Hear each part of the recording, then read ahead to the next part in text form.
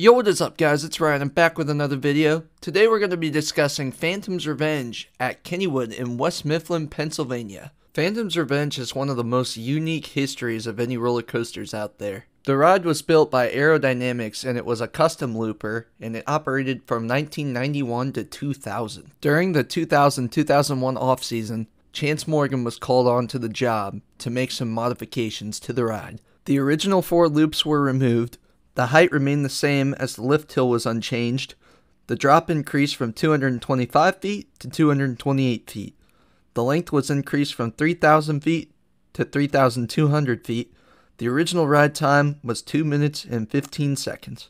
The trains were modified, removing the over the shoulder restraints. Word on the street was that this was one of the most insane roller coasters and intense roller coasters out there at the time. Having never experienced Steel Phantom, or heck, even being born at that point, I can't say anything about whether that's true or not.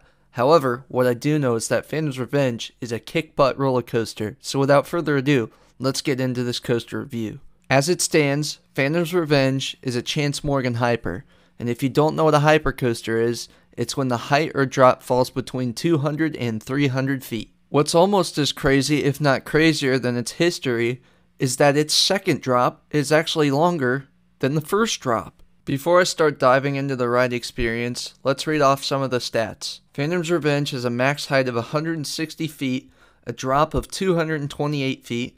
Remember how I said that that second drop off the second hill is longer than the first one. That is how it qualifies as a hypercoaster a top speed of 85 mile per hour, a track length of 3,200 feet, zero inversions obviously since they took them out, and a duration of a minute and 57 seconds. The first thing I want to talk about is the drop. Now, this one's going to be a little confusing because, as I said before, the biggest drop is the second one. However, I'm still considering in my book the drop to be the very first drop coming off the lift hill and it is a very awesome drop. I think it's awesome in any seat, especially in the back seat. You definitely get pulled the most, as usual with any coaster. Your back seat's definitely going to be the best experience most of the time. Coming out of that drop, it is pedal to the metal acceleration. You just keep going faster and faster, and you will definitely hit some G's going into that straightaway, and you will probably gray out a little bit. But what's even more intense is when you go up into the next hill, up into the big drop, and that is where the ride gets awesome. For me personally, no matter what seat I sat in, I grayed out going up into that lift hill every single time. The G force you hit there is just unbelievable. That second drop for me was kind of hit and miss. Sometimes it was intense, sometimes it wasn't. Either way, no matter what seat you're sitting in, since you're already at a pretty darn high speed, it is very fast and it is a very thrilling drop. And then once you get out of that drop, you go into the next airtime hill. And if I'm going to be honest, it is a little bland of an airtime hill, but you do fly over it really fast. It's still a cool element in my book. Next, you'll go into an in-banked turn that is not very tall, and that's when you start to see the transition of the ride from a big old hyper to a low to the ground, lean green airtime machine. This thing is nuts. Once again, if I had a POV, I would take you through each individual element by description, but for the sake of less confusion, I'm just going to summarize the rest of the ride. It turns into a very low to the ground twister airtime machine. There's not much more I could say. Every single airtime hill I hit absolutely bucked me off the seat. Probably in the top 5 of all coasters I've been on for ejector airtime. I wouldn't say that at any point in the rest of the ride it was ever intense to the point of where I would be graying out, but it's intense in its own way, just from absolutely launching you one way to another relentlessly. It is element after element after element. You are just snapping left and right, up and down. At one point, sitting in the front, the ejector was so strong I literally hit my head on the front of the train where the hood of the car would be. It was insane. The pacing is unbelievable, and the more and more the ride warmed up throughout the day, the better and better it got. But I wouldn't even say my first ride was bad. I don't think one airtime hill hit more or less than another airtime hill.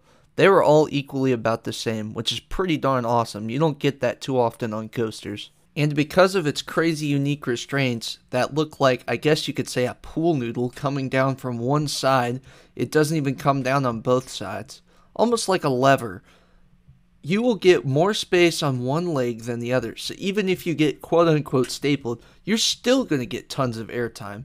It is the craziest restraints I have ever seen, and it is awesome because it allows you to have so much freedom and get so much airtime. In my book, those restraints are super comfortable and they increase the thrill aspect of the ride. In between all those little ejector airtime hills, there are a few helixes.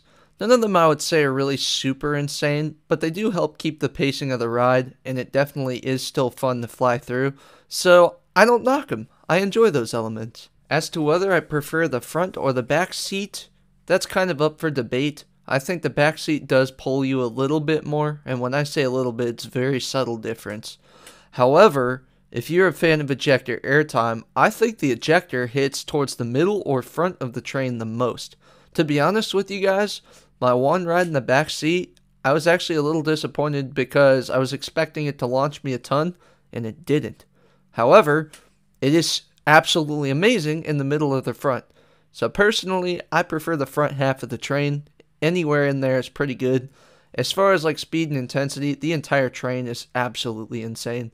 That's no shot towards the back seat. It's just my personal recommendation based on my six or seven rides I had the day I went.